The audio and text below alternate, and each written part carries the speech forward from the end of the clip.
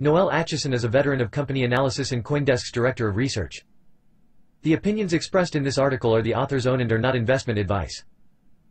The following article originally appeared in Institutional Crypto by Coindesk, a weekly newsletter focused on institutional investment in crypto assets. Sign up for free here. Shuttered shops. Empty streets. Scant traffic. The world's financial centers are increasingly looking like ghost cities. The world's financial markets, on the other hand, are a frenzy of activity as dealers and traders try to ride the wild swings each headline and sentiment shift brings. Yet even though almost all trading is electronic these days, conducted behind sanitary screens, there is talk of shutting down markets for health reasons. The health in question is not just that of the traders and support staff involved. Wild seesawing as we have been seeing this month in both traditional and crypto markets destroy wealth more often than they create it. At times the destruction can be truly threatening. At time of writing, the S&P 500 has lost over $3 trillion in value so far this month. And, as we saw in 2008, market losses can trigger a widespread economic meltdown that impacts upon the lives of people who had no idea they were inadvertent market participants. It takes on a new meaning, however, when the threat is more than economic. As most of us retreat to safety with a huge shout out of appreciation for those who can't, markets need to keep running. Much is uncertain about the environment and the outlook of the crisis we are going through. One thing is sure, though, we have not seen the last of wild swings. Yet, sending market makers to work from home is not as simple as it sounds. Regulations require certain levels of supervision, timestamping, data privacy procedures and voice recording that cannot be replicated in a home office. And market surveillance and audits are not quite as reliable via a saturated home Wi-Fi.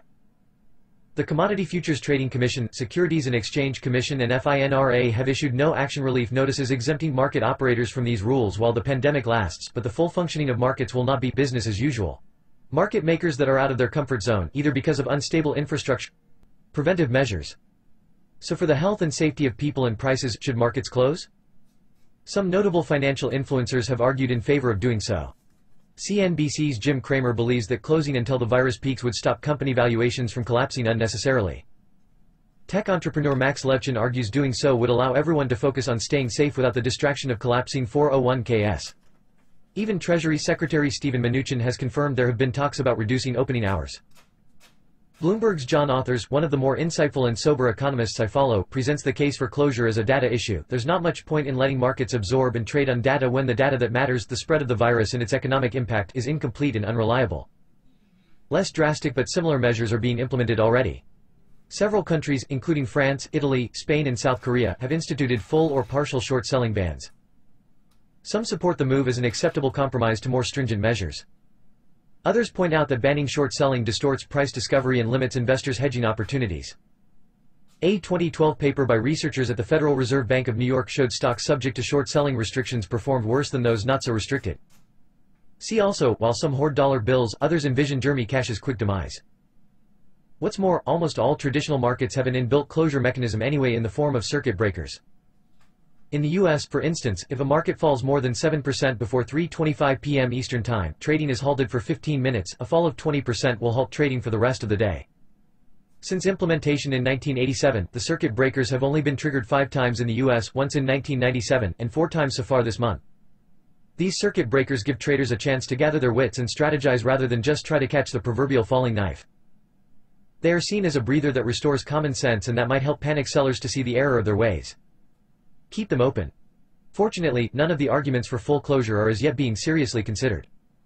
The closure of the world's principal trading venues would suspend price discovery, which is a fundamental mechanism of trade beyond stocks and bonds. And the blow to investor confidence in liquid markets from a prolonged shutdown would be severe and long-lasting. But even more urgently, many investors will most likely need to sell shares or bonds for cash over the coming weeks to cover living expenses.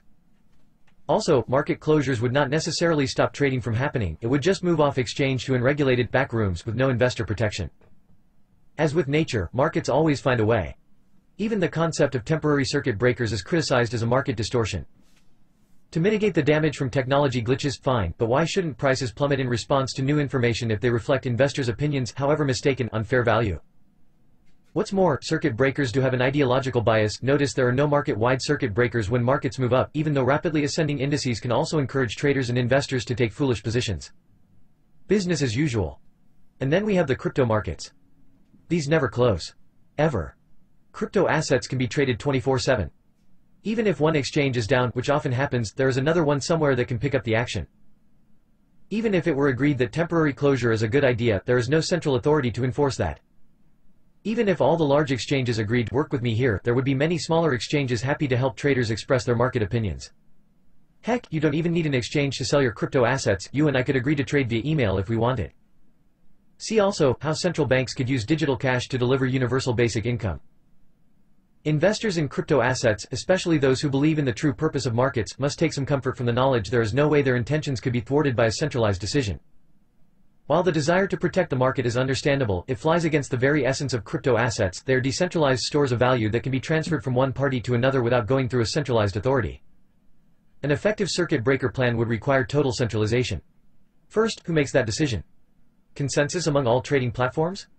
Not likely, especially as any holdout would reap rewards as trading flowed its way. Second, when would the circuit breakers be triggered? Who decides that? Again, a consensus is unlikely, as is efficient implementation. Who would be responsible for making sure that all platforms complied? How would this be enforced? The bigger question. This is a fascinating conversation for market nerds like me, as it gets to the root of what markets are for. Are they for allocating resources and messaging value? Or are they for protecting capital and preserving wealth? Are they there to crowdsource opinions as to economic outlook? Or are they there to boost investing confidence? Much is uncertain about the environment and the outlook of the crisis we are going through. One thing is sure, though, we have not seen the last of wild swings. The temptation of many to use markets as a political tool in troubled times will run up against those that understand that markets are about more than making money. See also, how Bitcoin's price slump is changing the geography of mining. Those working in crypto markets are well aware of this, they have no central authority to manipulate their platforms to influence investors, in that sense, the market is free. Yet, with freedom comes risk. In the case of crypto markets, that risk has the form of disjointed oversight, sometimes lax security, relatively low investor assurances and occasional volatile swings with enough ferocity to make even crypto enthusiasts occasionally wonder if total centralization of rules isn't such a bad idea after all. Mercifully, those bruised lapses in focus tend to be fleeting. As with much about the current crisis, deep questions about what we want from crypto markets are being asked. Conversations are flowing, information is ample and meaningful answers are emerging. Disclosure, the author is a long-term holder of a small amount of Bitcoin and Ether.